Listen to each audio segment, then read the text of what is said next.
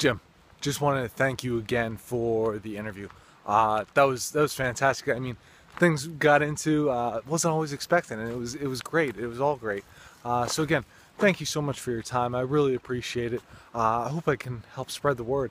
Uh, again about LeeCore Fitness, just hey, getting it out there about you, what you do, uh, sharing the blog with others, um, and again, I'd love to have you on again. It's just it's a blast uh, chatting. Uh, or again, maybe we can meet up. I think that'd probably be even a better thing.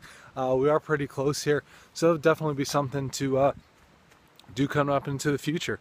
Uh, maybe hey, when my when my boy gets a little bigger, you can you guys we can, we can get all the guys together there, uh, do something there. But again, thank you so much, and just have a great day.